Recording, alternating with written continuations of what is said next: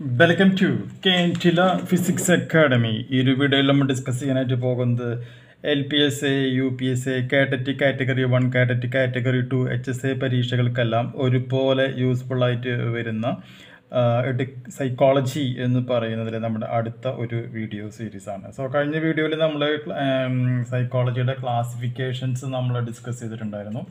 അതിൽ കേവല മനഃശാസ്ത്രം എന്ന് പറയുന്ന ആ ഒരു പോർഷനിൽ വരുന്ന ഡിഫറെന്റ് ആയിട്ടുള്ള സൈക്കോളജിക്കൽ സൈക്കോളജി ഏതൊക്കെയാണ് എന്നുള്ളത് നമ്മൾ പറഞ്ഞിട്ടുണ്ടായിരുന്നു.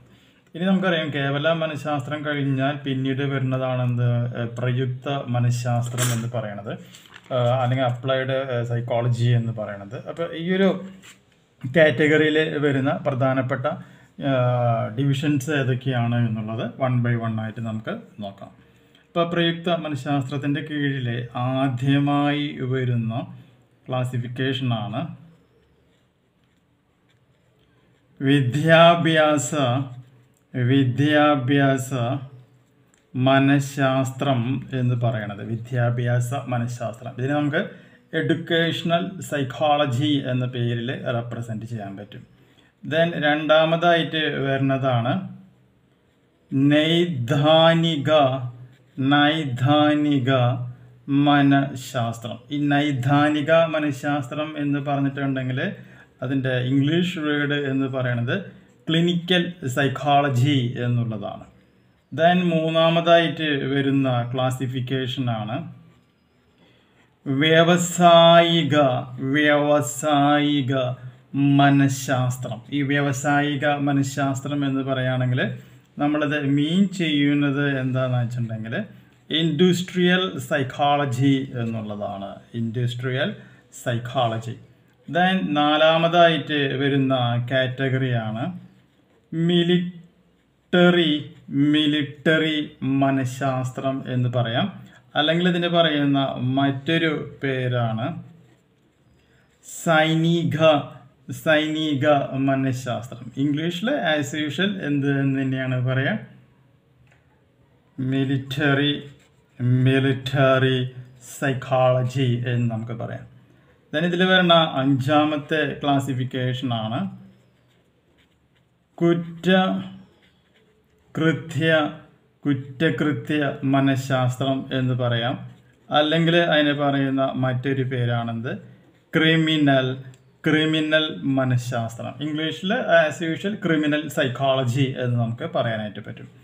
ദെൻ ആറാമതായിട്ട് വരുന്നതാണെന്ത്? കായിക കായിക മനഃശാസ്ത്രം. കായിക മനഃശാസ്ത്രം എന്ന് പറയുകയാണെങ്കിൽ നമുക്കതിനെ സ്പോർട്സ് സ്പോർട്സ് സൈക്കോളജി എന്ന് നമുക്ക് പറയാനായിട്ട് പറ്റും.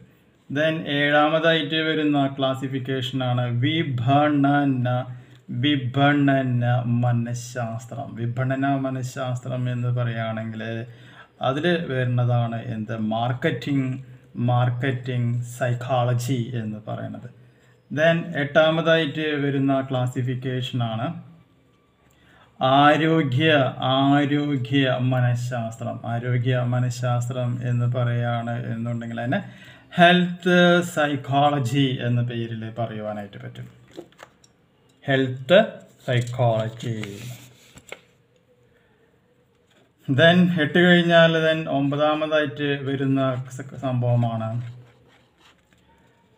കൗൺസലിംഗ് കൗൺസലിംഗ് മനഃശാസ്ത്രം. കൗൺസലിംഗ് മനഃശാസ്ത്രം എന്ന് പറയുമ്പോൾ അതിന് നമ്മൾ എന്ത് എന്ന് തന്നെയാണ് പറയുക കൗൺസിലിംഗ് സൈക്കോളജി എന്ന് തന്നെയാണ് പറയുക ദെൻ അതിൽ പത്താമതായിട്ട് വരുന്ന മെത്തേഡാണ് സ്ത്രീ സ്ത്രീ സ്ത്രീ മനഃശാസ്ത്രം. സ്ത്രീ മനഃശാസ്ത്രം എന്ന് പറയുകയാണെങ്കിൽ നമുക്കതിനെ ഫിമൈൽ ഫീമെയിൽ സൈക്കോളജി എന്ന് പറയാം. ദെൻ പതിനൊന്നാമതായിട്ട് വരുന്ന സൈക്കോളജിയാണ് ബഹിരാകാശ ബഹിരാകാശ മനഃശാസ്ത്രം. ബഹിരാകാശ മനഃശാസ്ത്രം എന്ന് പറയുകയാണെങ്കിൽ സ്പേസ് സ്പേസ് സൈക്കോളജി എന്ന പേരിലാണ് ഇത് അറിയപ്പെടുന്നത്. ദെൻ പന്ത്രണ്ടാമതായിട്ട് വരുന്ന സൈക്കോളജിയാണ് സംഘടന. സംഘടന മനഃശാസ്ത്രം എന്ന് പറയും. അല്ലെങ്കിൽ അതിന് നമുക്ക് ഓർഗനൈസ്ഡ് അല്ലെങ്കിൽ ഓർഗനൈസേഷണൽ അതായിരിക്കും കുറച്ചുകൂടി ബെറ്റർ ഓർഗനൈസേഷണൽ സൈക്കോളജി എന്ന് നമുക്കിവിടെ പറയുവാനായിട്ട് സാധിക്കും. ദെൻ പതിമൂന്നാമതായിട്ട് വരുന്ന സൈക്കോളജി ആണ് ഫോറൻസിക് ഫോറൻസിക് മനഃശാസ്ത്രം. അല്ലെങ്കിൽ ഫോറൻസിക് സൈക്കോളജി എന്ന പേരിലും നമുക്കിതിനെ റെപ്രസെന്റ് ചെയ്യാനായിട്ട് പറ്റും. അപ്പോൾ ഇതിൽ നമുക്ക് എന്ത് മനസ്സിലാക്കി? സൈക്കോളജി എന്ന് പറയുന്നത് ബ്രോഡായിട്ട് നമുക്ക് കേവല മനഃശാസ്ത്രം പ്രയുക്ത മനഃശാസ്ത്രം എന്ന പേരിൽ നമുക്ക് ഡിവൈഡ് ചെയ്യുവാനായിട്ട് സാധിക്കും. അപ്പോൾ അതിൽ പ്രയുക്ത മനഃശാസ്ത്രത്തിൽ വരുന്നത് പതിമൂന്നെണ്ണാണ്. വിദ്യാഭ്യാസ മനഃശാസ്ത്രം നൈദാനിക മനഃശാസ്ത്രം വ്യാവസായിക മനഃശാസ്ത്രം മിലിറ്ററി മനഃശാസ്ത്രം കുറ്റകൃത്യ മനഃശാസ്ത്രം കായിക മനഃശാസ്ത്രം വിപണന മനഃശാസ്ത്രം ആരോഗ്യ മനഃശാസ്ത്രം കൗൺസിലിംഗ് കൗൺസിലിംഗ്